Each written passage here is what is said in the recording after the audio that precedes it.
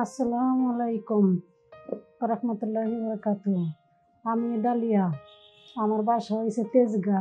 আমার অনেক অসুস্থ ছিল, ব্যথা। আমি অনেক হাত টাত কিছু না নাড়াইতে পারতাম না।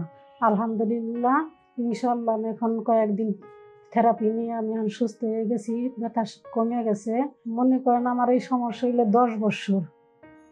দশ বছর সমস্যা মনে করেন আমি বুঝতে পারি নাই যে আমার এই সমস্যা হয়েছে দশ বছর আগে আমার পিঠে ব্যথা হয়েছিল। তো আবার একাই হয়েছিল, একাই সেরে গেছে। তখন আর আমি কোনো ট্রিটমেন্ট নেই নাই।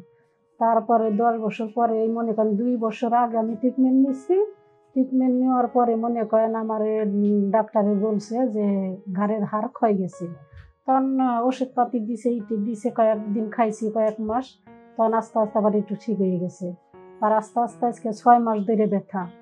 ছয় মাস ধরে ব্যথা, ছয় মাসে মনে করেন এই দুই মাস ধরে আমি কোনো কিছুই করতে পারি না। মানে দুই মাস কোনো কিছুই করতে পারি না, আলহামদুলিল্লাহ, এখন মনে করেন এমনি আমি কয়েকদিনে এখন সব কিছুই পারি মোটামুটি।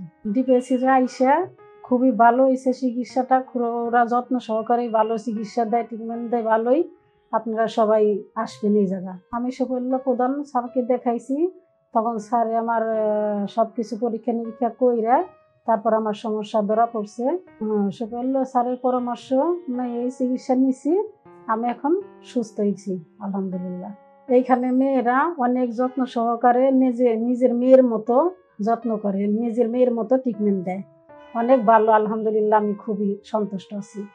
আপনাদের কারও যদি এরকম গার ব্যথা থাকে, এরকম কোনো কোনো কিছু ব্যথা সমস্যা থাকে, আপনারা আসবেন আই সেই স্যারের সাথে দেখা করবেন, স্যারের চিকিৎসা নেবেন। আলহামদুলিল্লাহ ভালো হয়ে যাবেন আপনারা সবাই। আমি ভালো হয়েছি এই জন্য মনে করেন আমি কারও ইতে না, আমি নিজের থেকে ভালো হয়েছি আলহামদুলিল্লাহ আমার আল্লাহ শুক্রিয়া। এই জন্য আমি সবাইরে এই পরামর্শই দিলাম, আপনারা সবাই আসবেন। সবাই ভালো থাকবেন, সুস্থ থাকবেন, আমার জন্য দোয়া করবেন।